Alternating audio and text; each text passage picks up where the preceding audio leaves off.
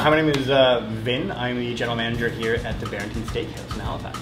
My job entails of kind of the overall operations, marketing, and uh, every aspect of how a restaurant runs. Yeah. A typical day for me uh, right now, because of the pandemic, is a lot of staffing issues. Kind of my day is making sure I actually have enough staff to be open for the day, making sure all the product we need is here because every kind of our, the entire supply chain is short on people. So then it's making sure kind of all the guests uh, know all the, the new protocols and all that fun stuff. That's pretty relatable. So in the show, um, one of the kind of big plot points, spoiler, maybe not, but one of the main plot points is that we are short staffed that day.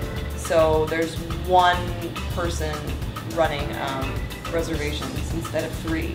And this is a restaurant that is booked three months in advance. So probably would be. This is every day for Yeah, us now. right? Yeah, this is this is my every day. This is where I just saw you have to. Yeah, we're fully right now, booked um, up. yeah. yeah, we're fully booked. I have, I'm short support staff. I have, I'm about maybe 40% of the kitchen staff that we normally have for- Yeah. for, a night like this.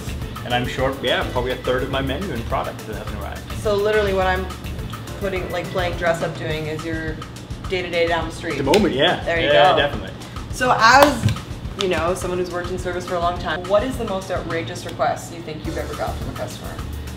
Like some of the proposal requests are, are really interesting. Oh yeah. I had a couple come in and they were doing a seven course tasting menu and the guy brought me two boxes beforehand. He's like, for dessert course, like we want to do the boxes and putting the boxes instead. But then the problem was like right when service was starting, I found those two boxes and they weigh the same. So now we don't know which box has the ring in it and which doesn't. Oh, and they're wrapped sealed boxes. And it's literally like a guessing game when we hit that table. It's like either it's gonna go the way he originally wanted or it's gonna go the way we hoped it happened. Yeah. Thank you so much. Yeah, for sure. Yeah, Yeah. that was awesome.